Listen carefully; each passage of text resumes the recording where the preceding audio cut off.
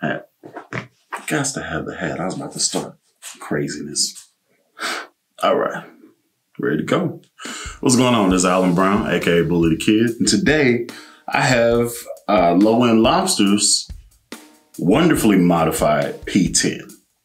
Uh, there's a few little changes to this bad boy to make it just, but I'm gonna get into that in just a little bit. So kick that intro.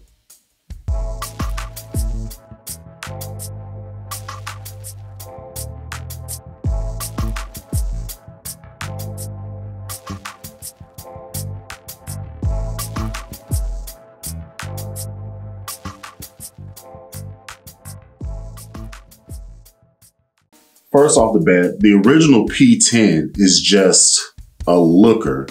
Has the roasted maple neck, rounded edges.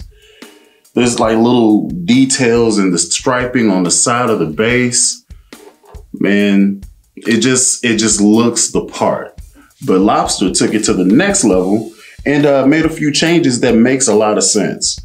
Uh, so with the electronics, we have a I want to say it's a J Retro or J John East preamp. I forget the name. I know how it works, but I forget it's one of those two. And um, it looks good. It sounds good. I've been playing with it a few times. I've put this on a few bass grooves, uh, Sunday morning groove videos, and it just felt right. You know what I'm saying? I seen it up there. I was like, I need to do this video P10 time. So um, but let me tell you the controls of this bad boy. So we have volume, we have blend, we have mid and mid frequency sweep. Then we have treble and bass, and then we have a tone. And uh, if you pull it up here, it goes into passive, uh, passive mode. So that's a good little ditty. Anything else? Any other bells and whistles I'm missing? Oh, and a bright mode. Forgot that. Bright mode is on the treble that you can engage, and I'm to be engaging all that stuff. So uh, there's also a switch that uh, turns the bass completely off, uh, disconnects from the battery. So if you do forget and leave it plugged in, you can just go ahead and disconnect the whole thing. Great little ditty. Uh, he swapped in an Albridge bridge down here looks good, does wonders, has gold, the uh, brass saddles in there. I actually have something similar, but in black on my M2 that's over there on the wall. Does his job really well. And up top, he has Hipshot tuners.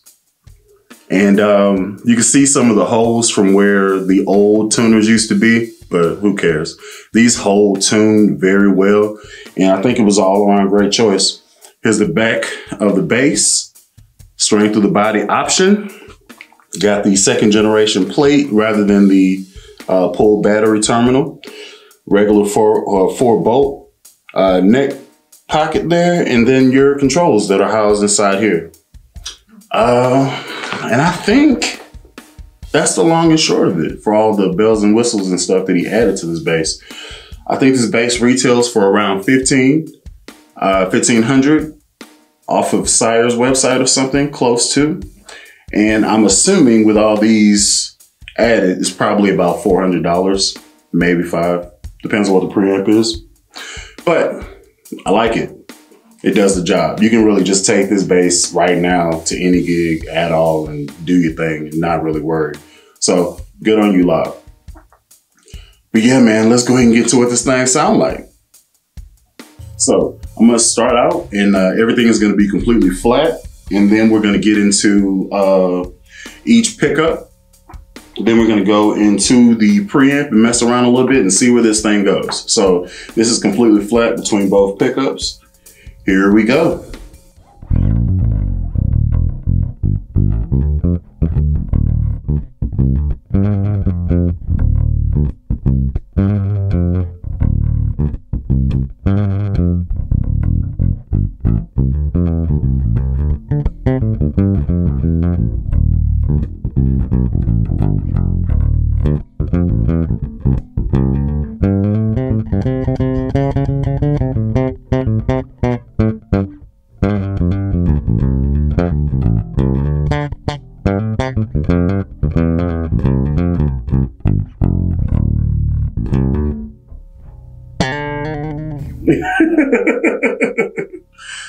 Snip that and make that a group. okay, so let's go to uh, the front pickup, which is the P pickup up here. See what we got. Um,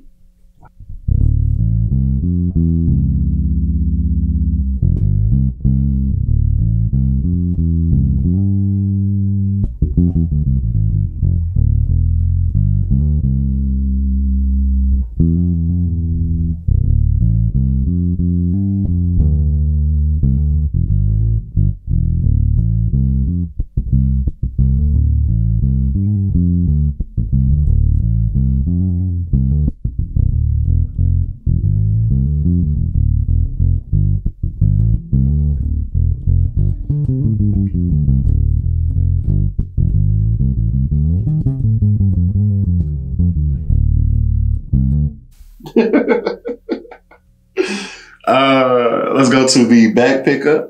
Now this is a regular jazz pickup, no hum canceling anything. So if I turn it up, you should hear a hum slightly. But this is what it sounds like.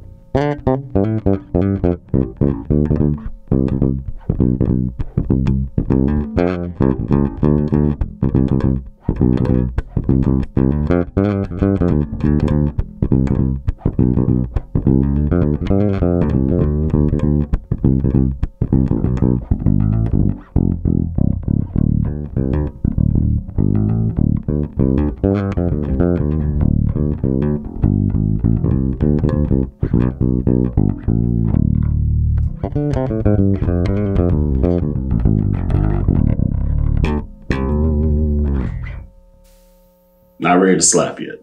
Not ready to slap yet. You gotta gotta slow pace that thing. You just can't rush through. You gotta get to know the bass before you get all nasty and stuff. You know? Yeah. So, um,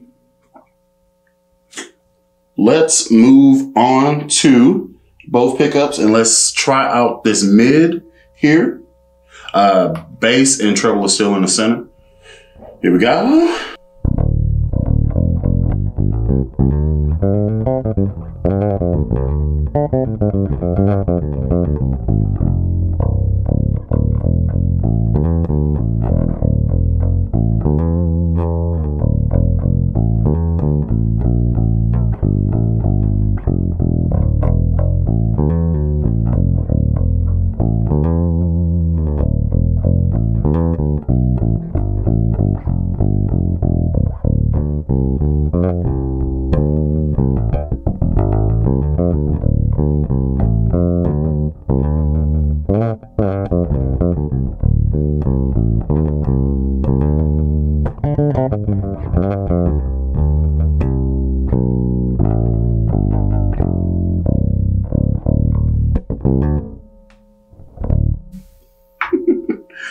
Let's take the mid all the way out of it, see what we got.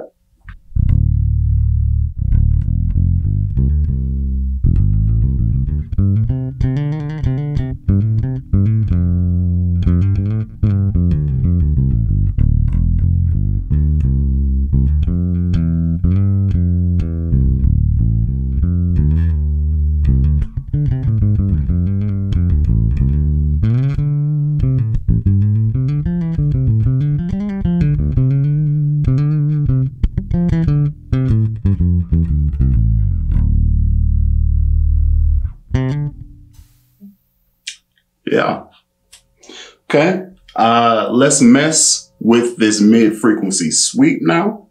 So here we go. I'm gonna roll it all the way to the front. Originally it was in the middle. Thereabouts, there's no detent to tell you where you're exactly in the center of the range. So I just kind of 100, 0, 50 type of deal. I don't know what that range is, but I was in the middle for whatever this range is. So this is rolled all the way to the front towards the neck pickup. Uh, here we go. Uh,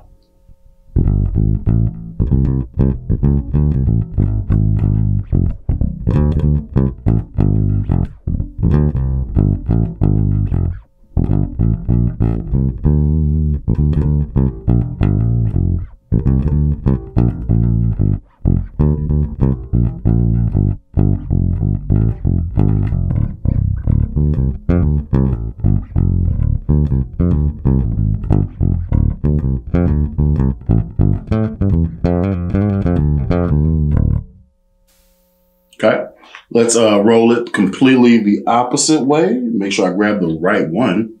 Uh, roll it all the way back that way. And here we go.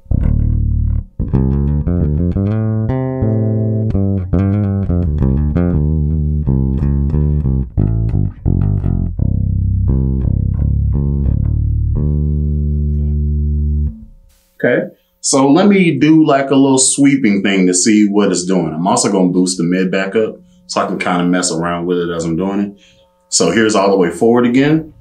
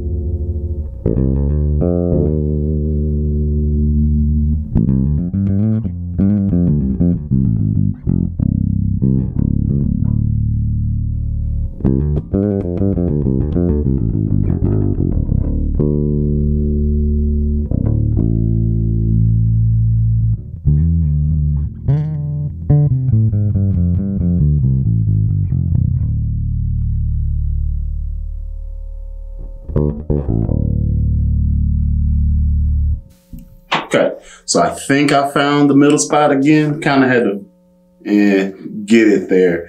And uh, let's go with this treble here. See what we got.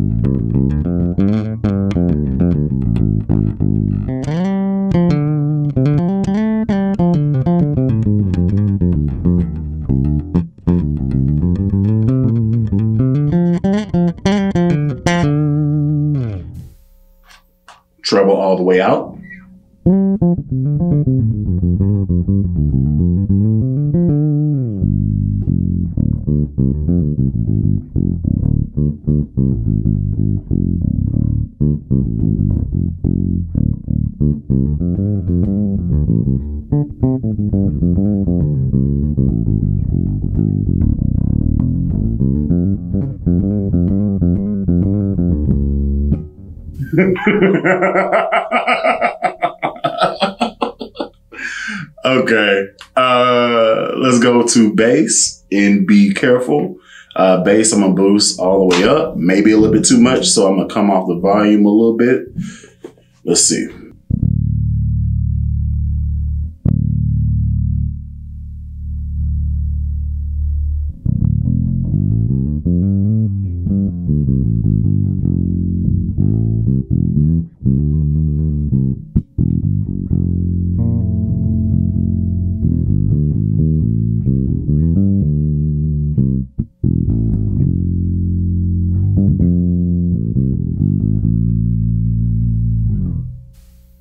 Let's take bass all the way out. Oh God.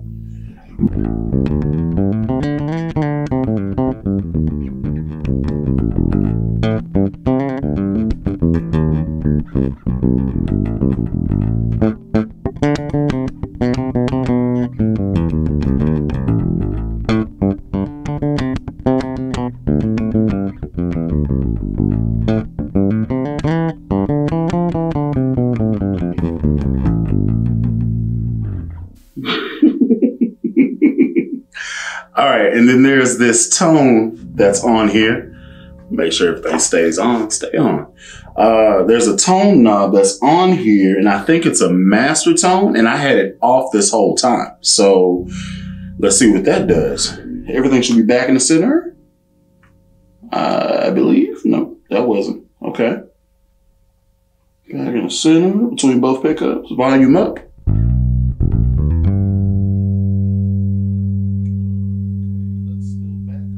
Mm-hmm.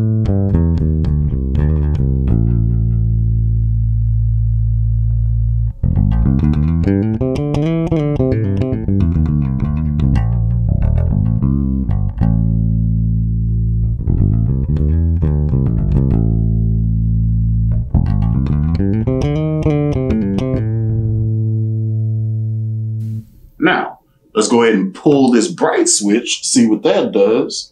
And I'm wondering if it's going to work with the treble or not. So I'll mess with that too.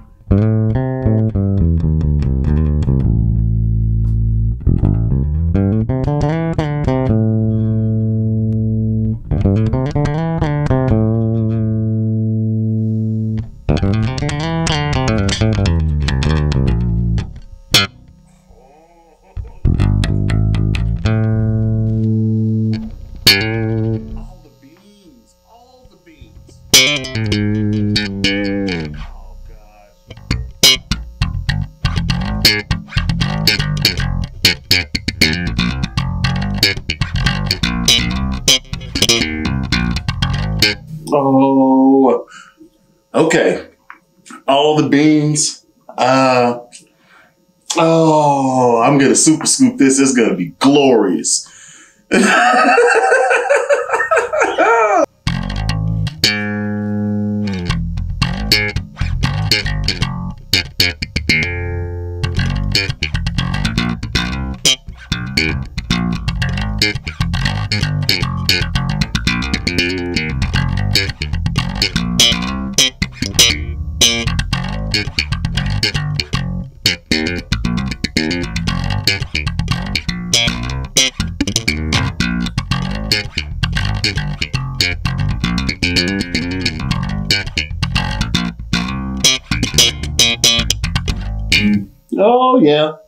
Okay.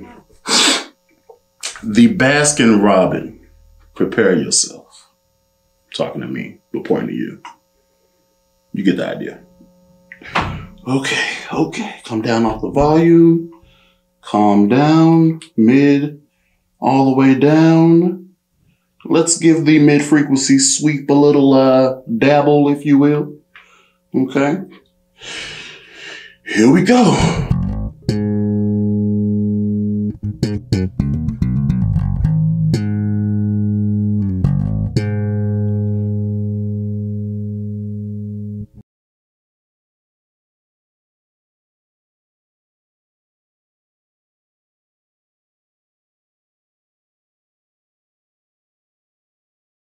Música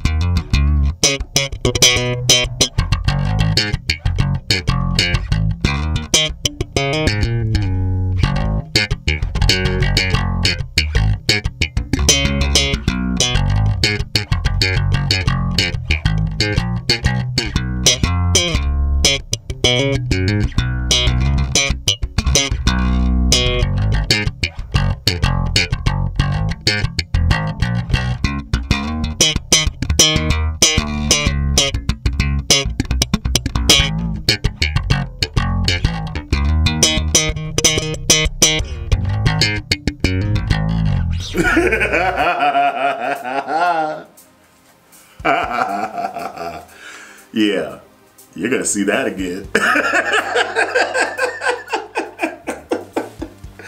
this is ridiculous.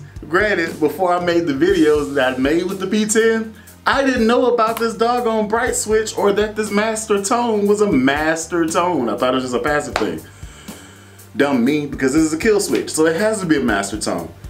Oh, Lobster, you have a weapon here. this is a weapon. This is, yeah, dude.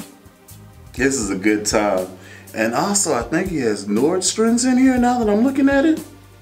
Now that I'm looking at it. Sheesh. Sheesh. Okay. I'm going to play with this a little bit more. So, Lobster, a week from this video, you'll get it back.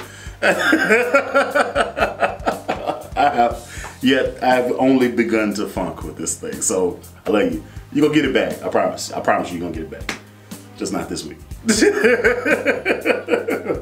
but yeah, man, that's been a, my uh, review of Low End Lobster's P10. That he's suited and booted way better than I even imagined or realized up until now, and me talking to him about what the heck this thing can do. It's a weapon. It's worth the money to build. At the end of the day, you're probably gonna be paying around the same price for like a Fender uh, the top of the line fender, which is gonna be around 21 anyway. So you might as well get all good hardware and get all the knobs and make it perfect. Cause yeah, it's a good time.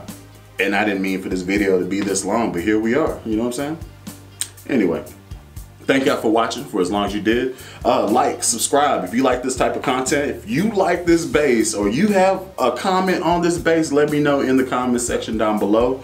Uh, I will have a link to Lowend Lobster's channel in my description. If you aren't following him, what are you doing? Because he does the same thing I do, but he does it a little bit different. He has his own flair, he has his own style to it. And uh, real good dude. Thank you, Lowend, for letting me uh, slap on this girl. And uh, yeah, I'm only halfway done. So thank you for letting me catch this. And thank y'all for watching. Till next time, I've been Allen Brown, the kid. Y'all be easy.